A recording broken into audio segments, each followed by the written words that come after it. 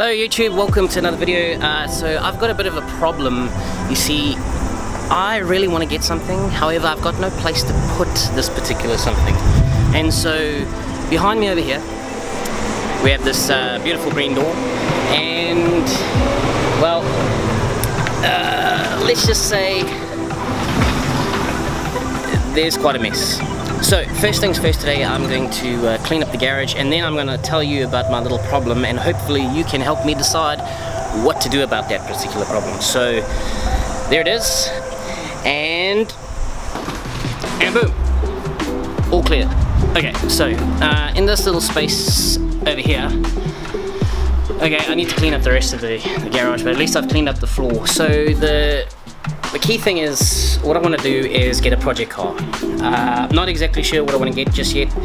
Um, I have been thinking rotary, I have been thinking V8. So it'll either be a rotary or a V8. Um, might be turbo, but I mean here in New Zealand it's pretty difficult to find something that is a road, uh, sorry, a turbo um, that's anywhere within the price range that I want to spend.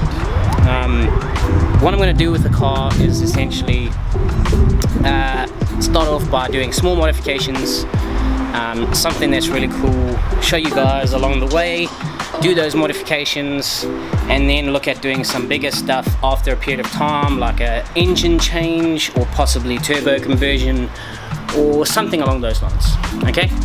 So that's my plan. Now I need your guys help to pick what it is that I'm gonna get. So we're gonna go inside and we're gonna have a look on the computer. I'm gonna show you a couple of things that I'm thinking about. Maybe we'll uh, put in some video of going to have a look at some of these cars, depends on where they are, and I want you guys to help me decide, okay? So inside, three, two, one, let's go. Okay, so what's up, what's up? Uh, we are inside. Uh, let's have a look on the computer as you can see in my sunnies having a look at cars. I've come across a few different ones that uh, that I'm thinking about getting. I asked you guys on Instagram, what do you think I should get?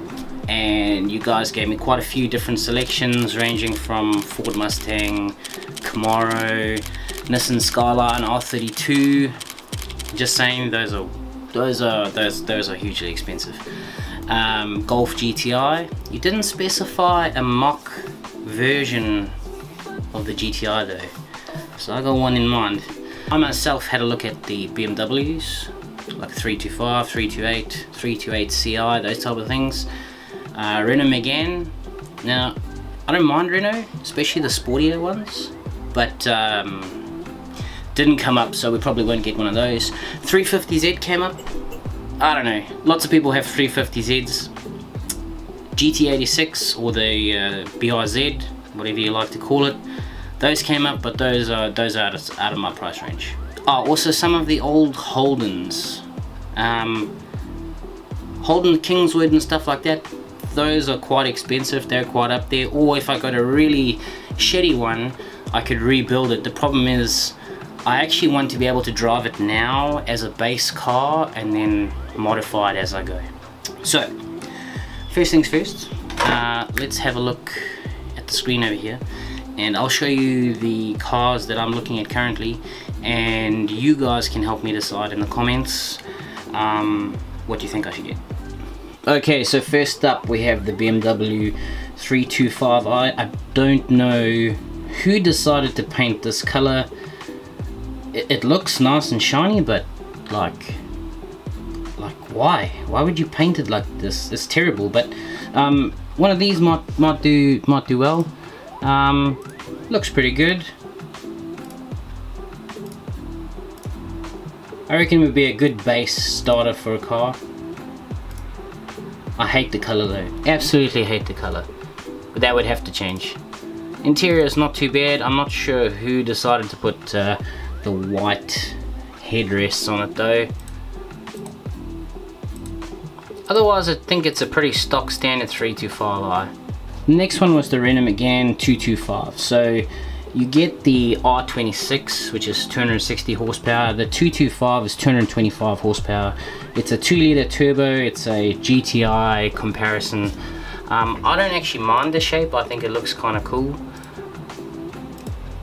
twin exhaust obviously at the back and there's a lot of parts for these but they all come from the UK so there would be a lot of import cost there because obviously I'm based in New Zealand however I think it could be a cool base model for a car but I don't think the New Zealand community will like this this is more like a, a UK uh, kind of thing then we got everyone's favorite the R32 Skyline I saw this one for sale this one is probably the cheapest one on Trade Me at the moment and it's on an auction. It's currently sitting at about $8,000. Um, so it's it's kind of up there in terms of price and the problem is this is not driving and I don't think it's registered either. As you can see the engine bay is pretty shit. Um, this would all have to be taken out and, and had a look at. It's, it's all very rusty and grimy and full of shit so I'm not sure if it's even running. there's another photo of the car inside. I think the guy was busy taking stuff out, doing a whole bunch of stuff to it. You can see all the bodywork is really bad. Yeah, yeah, you can see it's it's it's not not really good. All right, then we got to this Golf GTI. This, I think this is the car.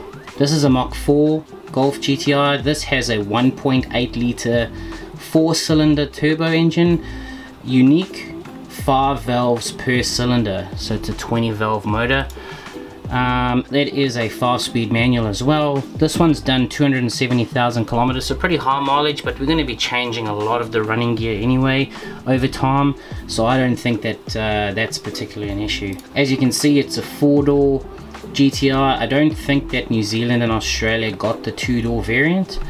Um, however this this is what I'm heading towards and the reason I'm heading towards it is Golf 4 GTI just have that like need for speed vibe.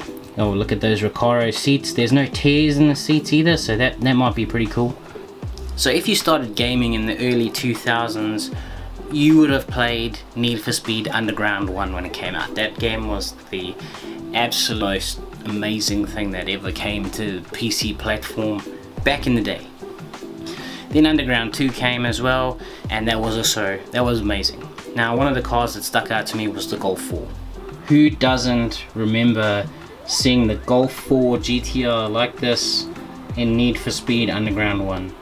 That amazing body kit, rims, the neon lighting, all this kind of crazy JDM stuff that sort of came to light through this game. It hasn't been decided yet, however, I'm definitely looking at the Golf 4 the reason being, I would love to build one of those Need for Speed underground style. I think that would just be so sick to see on the road, especially if it has the performance, it's lowered, it's got the rims, the wide body kit, everything just says Need for Speed Underground. And so this might turn into the Need for Speed Underground Golf 4 GTI build. Just saying. Anyways, let me know what you think in the comments and thank you so much for watching. If you like this video leave a thumbs up. Subscribe if you want to. Um, love to see you back here again. Uh, my name is Captain Lawrence and um, I'll see you in the next one